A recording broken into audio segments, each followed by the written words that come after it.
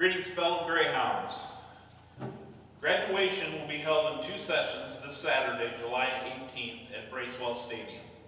The first session will begin at 6 p.m. for students whose last names begin with A through K. The second session will begin at 7 p.m. for students whose last names begin with L through Z. Since we will not hold a graduation practice, we have decided to make this instructional video for students and guests. First, we will go over some housekeeping items. Each student is allowed to bring eight guests for social distancing purposes in the stands. No tickets will be handed out, so this will be on your honor system. Face masks for students and guests are not required, but highly encouraged. Concessions will be open to purchase water, and we encourage students and guests to bring their own water to keep hydrated. Bathrooms will also be available. Programs are printed and will be in containers located at the top of each bleacher, as well as the top of the outside walkways. Second, Bracewell Stadium gates will be open at 4.30. First session graduates and guests are encouraged to come early to take any photos they would like to take in the stadium. In past years, graduates have photos taken by the Victory Bell and the water feature. Second session graduates and guests are encouraged to stay after their graduation session to take those types of photos.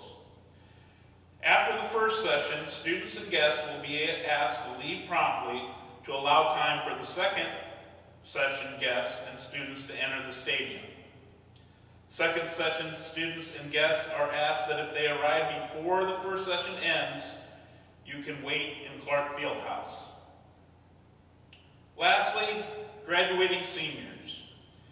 You will need to wear your cap and gown. If you have not picked yours up yet, they are still available to be picked up and for purchase at the BHS main office.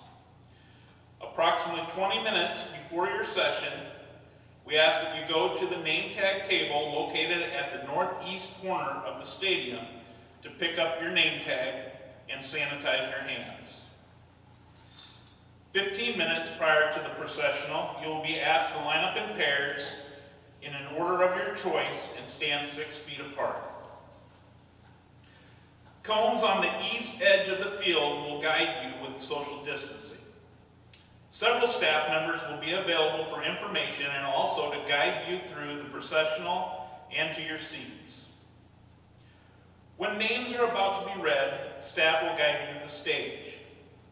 You will be asked to stop and take a photo with President Vikstrom at center stage by our photographer and then elbow bump Superintendent Coen before leaving the stage. After leaving the stage, a hand sanitizer dispenser is available for you.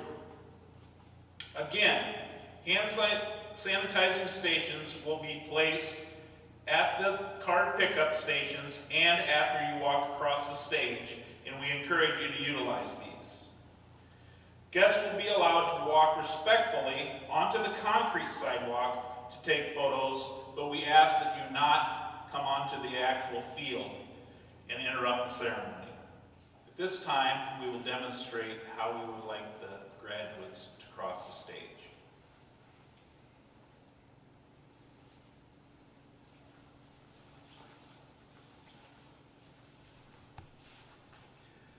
Jennifer Krieger Cohen.